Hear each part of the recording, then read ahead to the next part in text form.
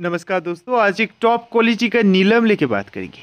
दोस्तों, ये जो क्वालिटी आप लोग देख रहे हैं, सिलोनी का पीस है एकदम नेचुरल वाला पीस है दोस्तों, इसका लैब रिपोर्ट रेडी है लैब रिपोर्ट नीचे आप लोगों को दिखने में आ जाएगा। इसमें डिटेल्स लिखा हुआ है। ये जो नीलम देख रहे हैं, इसका टोटल वेट 3.01 रहती है। दोस्तों, इसका ग्रेविटी हार्डनेस वगैरह सब कुछ रिपोर्ट में दिया हुआ है।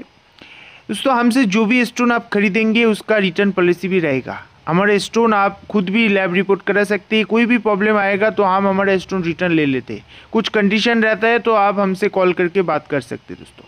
दोस्तों प्राइस भी बहुत कम प्राइस है टॉप क्वालिटी है, एकदम क्लियर नेचुरल पीस है, आप लोग कॉल करके बात कर सकते हैं।